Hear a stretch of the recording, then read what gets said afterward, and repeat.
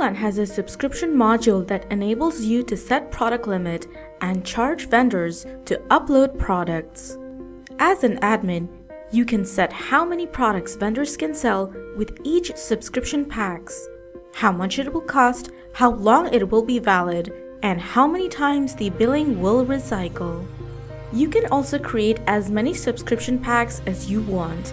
In this video, we will show you the entire process of it.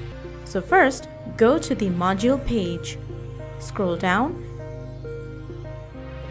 and here you will find the vendor subscription module. Enable it. Now move to the Dokan settings page and scroll down you will see the Dokan subscription is added to the menu. Click on it. Now enable vendor subscription option. After that, hit save changes.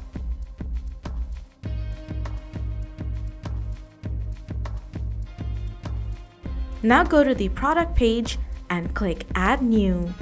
Write down the package name. Give package details. Scroll down to the product data section. Choose Dokan subscription from the drop-down menu. Give a price for the package. Set the number of products that can be uploaded under this package. Give a valid date for the package. Choose the admin commission type. Write down the amount of admin commission set the product category for this package. You can choose multiple categories. Enable reoccurring payment. You can set the billing cycle and trial option for the vendor. Hit the Publish button and complete the settings.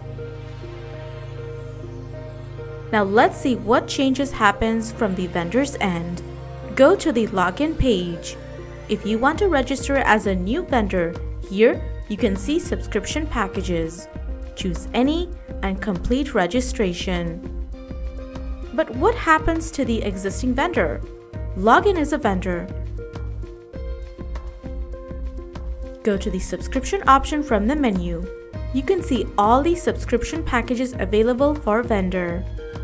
You can choose to arrange the packages. Go to the product page choose your package and click Edit. Scroll down to the product data section and click on Advanced. Write down the number in the menu box and save the settings. Now refresh the page here. You can see all packages are rearranged. Let's purchase a package as a vendor. Click on the Buy Now button. Vendors will be redirected to the cart page. Complete the purchase using a payment gateway. When it's completed, vendors can see the subscription details on the subscription page.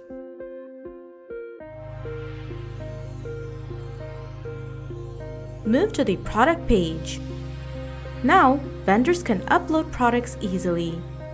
This is the way the admins can charge vendors for uploading products. If you want to learn more tips and tricks about Dokan, subscribe to our newsletter, read our blogs, and follow us on our social pages.